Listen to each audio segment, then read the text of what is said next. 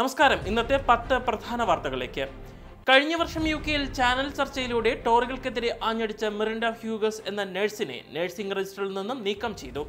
വിവാദ പരാമർശത്തെ തുടർന്ന് അവർക്കെതിരെ നഴ്സിംഗ് ആൻഡ് മിഡ്വൈഫറി കൗൺസിലിൽ പരാതി എത്തിയിരുന്നു.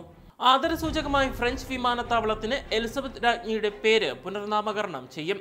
രാജാവിന്റെ അനുമതി ലഭിച്ച ശേഷം പേര് മാറ്റുമെന്ന് ഉദ്യോഗസ്ഥർ അറിയിച്ചു.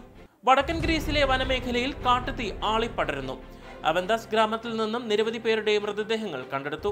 യു എയിലെ ഏറ്റവും പുരാതന ദേവാലയത്തിന്റെ പുതിയ കെട്ടിടം നിർമ്മിക്കുന്നതിന് Lulu group chairman M A Yusuffali രണ്ടേകാൽ കോടി രൂപ സംഭാവന ചെയ്തു. സെന്റ് ജോർജ് ഓർത്തഡോക്സ് കത്തീഡ്രലിന്റെ പുതിയ കെട്ടിട നിർമ്മാണം രണ്ടായിരത്തി ഇരുപത്തിനാല് മെയ്യിൽ പൂർത്തിയാകുമെന്നാണ് പ്രതീക്ഷിക്കുന്നത്. യമനിൽ നിന്ന് സൗദിയിലേക്ക് കടക്കാൻ ശ്രമിച്ച കുടിയേറ്റക്കാരെ സുരക്ഷാ ഉദ്യോഗസ്ഥർ കൂട്ടക്കൊല ചെയ്തതായി റിപ്പോർട്ട്. ഇവരിൽ അധികവും എത്യോപ്യൻ പൗരത്വമുള്ളവരാണ്. ചീഫ് ഓഫ് ഡിഫൻസ് സ്റ്റാഫ് മാതൃകയിൽ ചീഫ് ഇൻവെസ്റ്റിഗേറ്റീവ് ഓഫീസർ ഇന്ത്യ എന്ന തസ്തിക രൂപീകരിക്കാൻ ഒരുങ്ങി ഭാരത സർക്കാർ.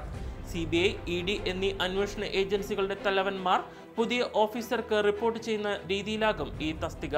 മാസങ്ങൾ നീണ്ട യാത്രയ്ക്കൊടുവിൽ ചന്ദ്രയാൻ മൂന്ന് ഇന്ന് സോഫ്റ്റ് ലാൻഡിംഗ് നടത്തും. പേടകം ചന്ദ്രനിൽ ഇറങ്ങുന്നതോടെ ബഹിരാകാശ പര്യവേക്ഷണ മേഖലയിൽ ഇന്ത്യ പുതുചരിത്രം കുറിക്കും. പാലക്കാട് തിരുവാഴിയോട് സ്വകാര്യ ട്രാവൽ ബസ് മറിഞ്ഞു. ചെന്നൈയിൽ നിന്നും കോഴിക്കോട്ടേക്ക് പോകുകയായിരുന്ന കല്ലട ട്രാവൽസിന്റെ ബസ്സാണ് അപകടത്തിൽപ്പെട്ടത്. ഉമ്മൻചാണ്ടി പ്രകീർത്തിച്ചതിൽ ജോലി നഷ്ടപ്പെട്ട സതിയമ്മയെ ചാണ്ടിയുമ്മൻ വീട്ടിലെത്തി സന്ദർശിച്ചു. ഉമ്മൻചാണ്ടി പ്രശംസ മാത്രമാണ് ജോലി നഷ്ടമാകാൻ കാരണമെന്ന് സതിയമ്മ പറഞ്ഞു. ചെസ് ലോകകപ്പിൽ നിന്ന് കാൾസൺ പ്രജ്ഞാനന്ദ രണ്ടാം അംഗം. ഇന്ന് നടക്കുന്ന മത്സരവും സെമിയിൽ അവസാനിച്ചാൽ മറ്റന്നാൾ ടൈ ബ്രേക്കറിലൂടെ ലോക ജേതാവിനെ നിശ്ചയിക്കും. ഇന്നത്തെ പത്ത് പ്രധാന വാർത്തകളാണ് നിങ്ങൾ ഇതുവരെ കേട്ടത്. കൂടുതൽ വാർത്തകൾക്കും വിശദ വിവരങ്ങൾക്കുമായി Anand T V U K channel subscribe ചെയ്യുക.